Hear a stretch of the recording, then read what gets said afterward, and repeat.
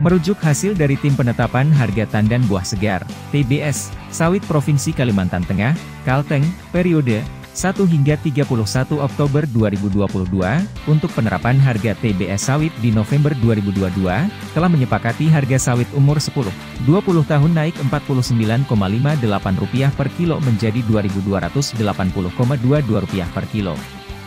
Rapat selanjutnya untuk menentukan harga TBS sawit periode November 2022 dilakukan pada Selasa, 6 Desember 2022 di Palangkaraya, Kalimantan Tengah.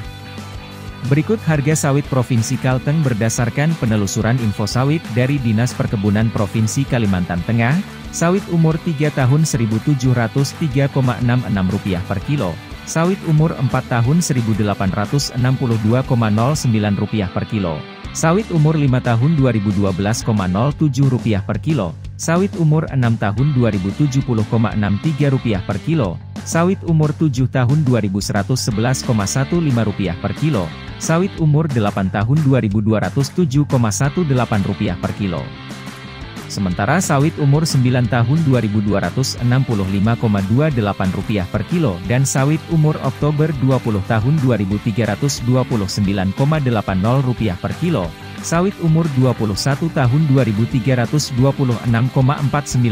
per kilo. Sawit umur 22 tahun Rp2.321,74 per kilo, sawit umur 23 tahun Rp2.300,84 per kilo, dan sawit umur 24 tahun Rp2.300,84 per kilo.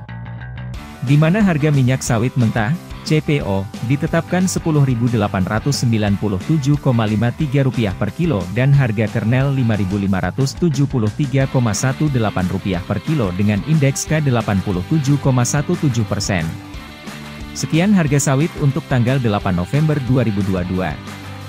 Untuk mendapatkan harga sawit setiap hari, silahkan subscribe ke channel ini.